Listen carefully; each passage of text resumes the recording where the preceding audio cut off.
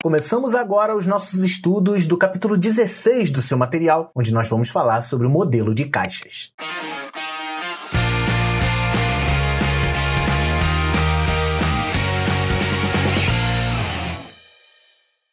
Olá, tudo bem com você? Seja bem-vindo, seja bem-vindo à primeira aula do capítulo 16 do seu curso de HTML e CSS. E como eu disse ali na abertura, nós vamos começar a falar sobre o modelo de caixas. Mas que diabos é modelo de caixas e o que, que isso importa para mim? Essa teoria é muito importante, por isso que eu reservei um vídeo só para essa teoria, para você poder entender o box sizing e a forma com que os boxes são exibidos. Na verdade, a teoria de caixas, né, o modelo de caixas, ela vem do termo em inglês que é o box model. Então, se por acaso você tiver alguma dúvida em relação a esse conceito, se quiser pesquisar outras fontes, enfim, é só você procurar por HTML CSS Box Model. Então vamos diretamente para os slides que eu preparei para você, para você poder entender bonitinho isso daí.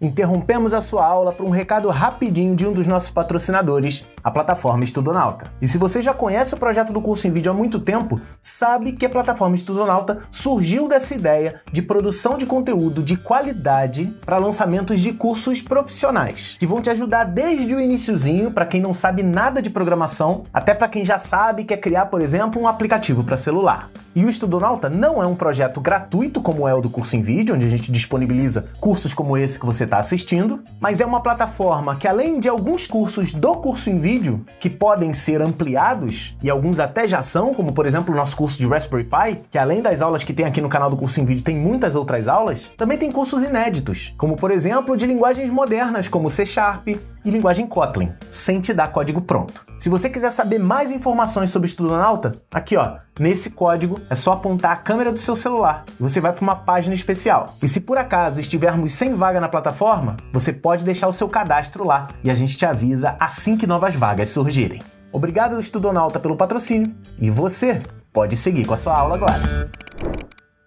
Então, nós vamos começar agora a estudar os conceitos do modelo de caixas. Ele é aplicável ao HTML, à linguagem HTML e à linguagem CSS também. É um conjunto que vai facilitar muito para você conseguir organizar o design, organizar as partes do seu site. E a teoria por trás desse modelo de caixas tem a ver basicamente com o paradigma, né? com a ideia de ter uma caixa. Então, quando você tem um documento HTML, tudo aquilo que é exibido na tela é exibido em forma de caixa. E eu posso né, a grande maioria das caixas da HTML, elas podem estar uma caixa dentro da outra. E isso vai facilitar muito a nossa vida. Então eu posso pegar uma caixa, botar dentro de outra caixa, pegar outra caixa, botar dentro dessa segunda caixa e formar uma hierarquia de caixas, uma caixa dentro da outra, tipo aquela bonequinha que tem uma boneca, aquela boneca polonesa, sei lá como é que chama, uma que tem uma boneca dentro da outra. É basicamente a mesma coisa também. E quando eu coloco um elemento dentro do outro, só como curiosidade, o termo que a gente usa é aninhamento. Tem muito aluno que fala alinhamento porque é coisa de alinhado. Não é alinhado, é aninhamento, é em forma de ninho. É uma coisa que cabe outra dentro, que cabe outra dentro, que cabe outra dentro. Sempre que você ouvir o termo aninhamento, você não vai mais achar estranho. E eu vou usar como exemplo aqui um código muito básico, muito inicial, que a gente viu lá quando a gente começou a estudar HTML,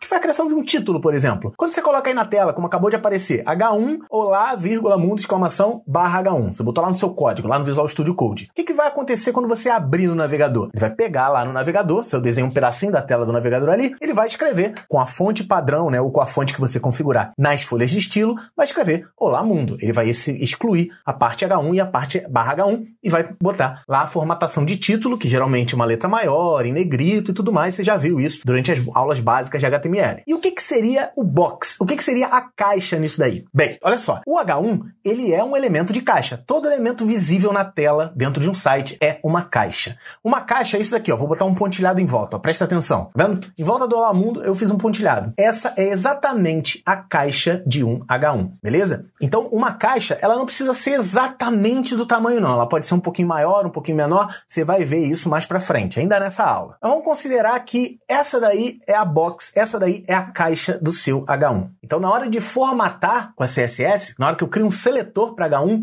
na verdade eu estou configurando a caixa que vai estar exibindo esse elemento. Uma caixa, ela tem um tamanho, tá? Esse tamanho é especificado em duas medidas muito importantes e com palavras que às vezes se parecem muito, Você tem que prestar bastante atenção. Então, nesse momento, se é que você ainda não abriu, abre o seu caderno para você poder anotar essas palavrinhas aí e não errar nunca mais. Apesar de que o Visual Studio Code, você vai ver, ele te ajuda bastante na digitação. A primeira medida é a altura. Então, essa palavrinha, esses termos, esse termo aí, Olá Mundo, ele tem uma altura. Você deve estar tá vendo aí. Essa altura a gente chama de height, tá? Height. Então, é H-E-I-G-H-T.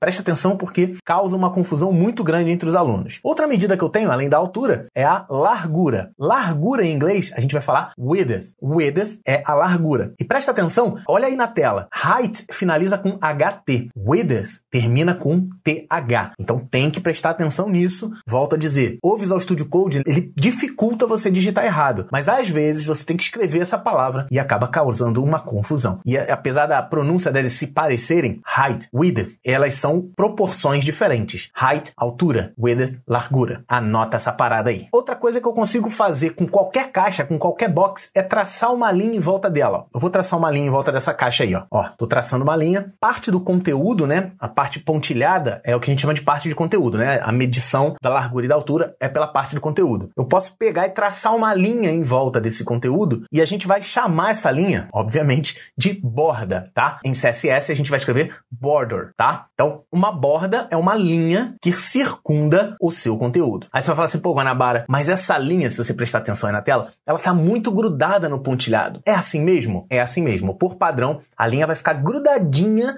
no pontilhado do conteúdo, certo? E aí você vai falar assim, ah, pô, Guanabara, mas tá muito grudado, eu preciso de um espacinho. Tem como criar um espacinho? Assim, ó, por exemplo, ó, presta atenção como tá agora. Tá grudadinho no pontilhado, né? A linha branca tá bem grudada no pontilhado. Vou dar uma desafogada, vou dar uma, uma inflada nele aqui. Olha só a diferença. Esse espacinho que foi criado aqui, ó, esse espaço tem um nome, tá? Esse espaço, ele se chama padding, tá? A tradução de padding pode ser acolchoamento ou preenchimento. É como se você estivesse engordando, dando aquela engordadinha no elemento para que a nossa borda fique distante do conteúdo, tá? O padding, ele é calculado, pode ser calculado em qualquer uma das dimensões. Pode ter um pad em cima, pad de baixo, o da esquerda, o da direita, ou ele pode ser igual. Na hora que a gente botar a mão na massa, você vai poder entender. Então, deu para entender? Eu tenho o conteúdo, todo o conteúdo tem largura e altura, que é o height, altura, width, largura, e tem um border, que é uma borda em volta, e existe um espacinho entre o border e o conteúdo, que se configurado, a gente vai chamar de padding, certo? Uma outra coisa que a gente pode configurar é o seguinte, da borda para dentro tem um espaço. Se eu tiver um outro box embaixo desse Olá Mundo, ele pode ficar grudado nessa linha. Tá vendo a linha branca, que é o meu border? O meu border, se eu tiver um outro elemento embaixo, a borda dele vai colar na borda do de cima. Então eu posso criar, além de um espaço interno, como você está vendo aí, ó, o padding é um espaço interno. Eu posso criar também um espaço externo, que é o que eu vou chamar. Esse espaço aqui, ó, ele também tem um nome, que é o margin, que é a margem. Então, todo elemento, todo boxing, ele tem o conteúdo, tem uma borda, da borda para dentro a gente chama de padding, que é preenchimento ou acolchoamento, e da borda para fora a gente chama de margin, que é a margem. Tranquilo? Outra coisa que eu posso fazer dentro da margem, logo do lado de fora da borda, é criar um outro tracejado que eu não chamo de borda, tá vendo? Eu criei um tracejado amarelo fora da borda, dentro do espaço do margin. Eu vou chamar esse essa área de outline. Esse outline pode ser considerado também, pode ser traduzido para o português como contorno ou como traçado, certo? Então a borda ela é dentro do elemento, o traçado ele é fora do elemento. Caso você precise de um outline, tá aí como você faz o traçamento, o tracejado dele. Beleza? Então, essa daí é a anatomia de uma caixa. A gente vai ver na prática lá, utilizando a nossa ferramenta do Google Chrome, você vai ver basicamente os principais elementos aí da anatomia de uma caixa. E aí, tá gostando do curso? Tá achando legal a ideia desse curso? Ele tá dando um trabalhão pra gente desenvolver e eu vim aqui te pedir um imenso favor para divulgar esse curso. E eu criei um jeito bem legal de também talvez divulgar o seu trabalho. Isso porque no repositório que eu vou falar várias vezes no curso, além do nosso material de apoio, todos os exercícios, também vai ter uma pasta chamada Ajude na Divulgação. Se você quiser, pode entrar lá, baixar essa pasta inteira e aí você vai encontrar várias imagens em vários formatos para ajudar na divulgação. Eu particularmente vou fazer uma versão, mas você que é artista, você que sabe desenhar, que sabe ilustrar, ou que manja muito de Photoshop, Illustrator, pode criar uma arte baseada nos tamanhos, né? A gente vai ter o tamanho deitado, o tamanho em pé e o tamanho quadradinho. Você pode criar essas artes e mandar pra gente para esse e-mail aqui, ó, que é arte@cursoemvideo.com. Não tem .br no final. E as artes selecionadas vão ser divulgadas no meu Instagram pessoal e no Instagram do Curso em Vídeo, que estão aparecendo aqui embaixo. Então, se você é artista, pode ajudar a gente criando artes, pode produzir o seu conteúdo e a gente ajuda a divulgar. E se você não é bom com artes, não tem problema. É só acessar a pasta Ajude na Divulgação no nosso repositório, escolher uma ou mais imagens e divulgar nas suas redes sociais, grupos e tudo mais. Valeu mesmo, já agradeço antecipadamente pela sua divulgação, o que vai tornar com certeza esse curso muito grande e vai ajudar muitas pessoas. E existem basicamente, para a gente entender também, dois tipos de caixa, tá? Quando você cria uma caixa, por exemplo, o H1. H1 foi uma caixa. Ele é um tipo de caixa, tá? Para isso, vou desenhar dois navegadores aqui na tela, tá? Imagina que isso aí são dois navegadores. Eu tenho dois tipos de caixa. O primeiro tipo de caixa, que é o do lado esquerdo, seu lado esquerdo, é o box level. O outro tipo é o inline level. Então eu tenho caixas do tipo box level e caixas do tipo inline level. Vou colocar um conteúdo aqui. Imagina que isso é um parágrafo, um conteúdo qualquer, um blá blá blá, um qualquer coisa aí dentro do nosso código. Inclusive, se isso aí são parágrafos, eles também são caixas, tá? Todo parágrafo é uma caixa também bem. O que, que é uma caixa do tipo box level? Uma caixa do tipo box level é o seguinte: eu tenho esse parágrafo que está aparecendo aí do lado esquerdo da sua tela e eu quero colocar uma outra caixa. Só que essa caixa é do tipo box level. Uma caixa do tipo box level é o seguinte: tá vendo que o conteúdo ali, a última linha, tá parcial, ela não se completou. Se eu criar depois desse parágrafo um box level, né, dentro desse parágrafo basicamente também, um box level, ele vai pular para a linha de baixo, vai desenhar um box level. Então o box level ele sempre se inicia numa linha nova. Uma outra característica de box level é que o box level ele sempre ocupa a largura total da tela. Então, se seu navegador tá largão, ele vai ocupar a largura inteira. Se ele tiver fininho, ele vai ocupar um pouco menos de espaço lateral, um pouco menos de width, certo? A largura dele é sempre 100% do viewport, viu? 100% da sua telinha da, da, área branca do seu navegador. E depois que eu exibir esse box, ele vai pular para a linha de baixo e aí sim ele vai colocando os outros boxes. Então, sempre que você tiver uma caixa do tipo box level, ele sempre, sempre que a caixa for começar, ele vai pular para a linha de baixo, vai ocupar a largura inteira da tela e vai pular para a próxima linha antes de continuar o conteúdo. Já um elemento do tipo inline level, uma caixa do tipo inline level, ele vai fazer o seguinte, ó, mesma situação. Tá lá os parágrafos, o parágrafo termina ali no iníciozinho, né? Sobrou um espaço. Ele não vai pular para a próxima linha, ele vai pular para o lado, vai desenhar a caixa exatamente do tamanho para conter o conteúdo do seu elemento e depois que ele termina, ele também não quebra a linha. Ele não ocupa a largura inteira e ele também não quebra a linha. Ele continua o conteúdo e aí eu consigo ter uma caixa do tipo inline level, né, dentro da linha, vamos dizer assim. Então, visualmente está aparecendo aí na tela a diferença básica, a diferença clara entre caixas do tipo box level, resumindo novamente, sempre que uma caixa vai começar, ele quebra para a próxima linha, coloca o tamanho da tela, a largura inteira, e depois que ele termina o box, ele pula para a linha de baixo. Ele é isolado, ele é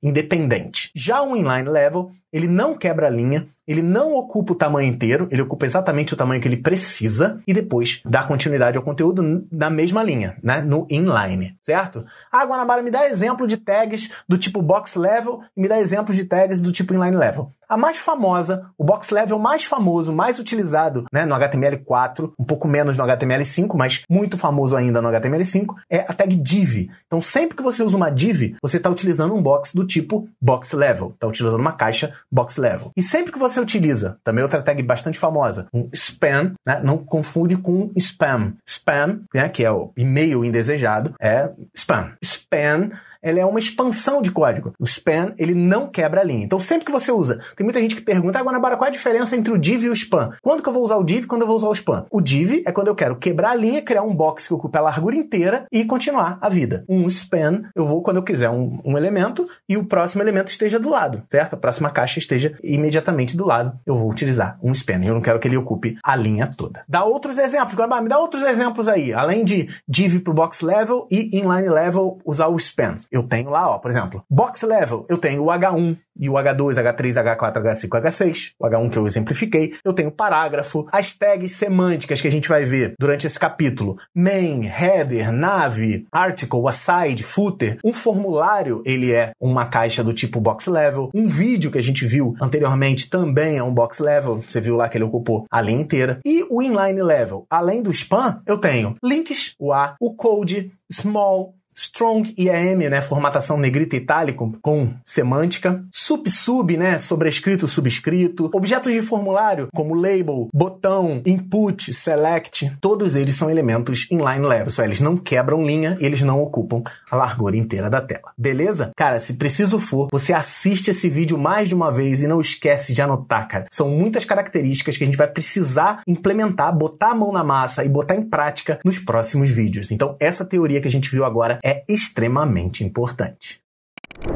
Então é isso, meu querido, é isso, minha querida. Mais uma aula de teoria. Geralmente a primeira aula de uma teoria de um capítulo muito importante, a gente coloca os slides para ficar mais fácil de você conseguir perceber. Espero que você tenha entendido a anatomia de uma caixa, saiba diferenciar o que é uma caixa box level e uma caixa inline level. Dá para a gente configurar isso na mão depois. Se uma box level precisar ocupar menos parte da, da tela e a próxima ocupar do lado, dá para fazer a configuração também. Mas é bom que você saiba classificar essas caixas e entender o que é uma caixa na prática. No próximo vídeo, a gente vai botar a mão na massa, eu vou criar um sitezinho e a gente vai personalizar ele para você poder entender todas essas características anatômicas de uma caixa a partir da próxima aula. Fechado? Então a gente já tem um encontro marcado, você já tem uma tarefa para fazer, mas não se esquece, anota tudo. Tudo anotado, você vai facilitar muito a sua vida, vai por mim. Ainda mais essa parte de modelo de caixas que a gente vai usar bastante a partir de agora. Eu me despeço por aqui, não se esqueça de praticar, de treinar e a gente se vê na próxima. Um grande abraço